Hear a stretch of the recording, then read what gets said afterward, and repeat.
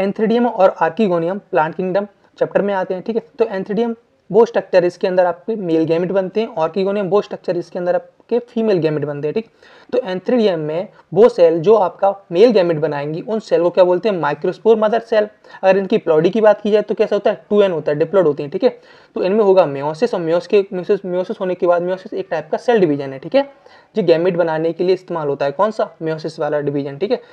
Meiosis के बाद क्या बनेगा? आपके एंथ्रोजॉइड्स बनेंगे। एंथ्रोजॉइड्स कौन होते हैं? आपके मेल गैमिट्स को ही बोलते हैं। कौन बोलते हैं? मेल गैमिट्स को ही बोलते हैं एंथ्रोजॉइड्स ठीक है?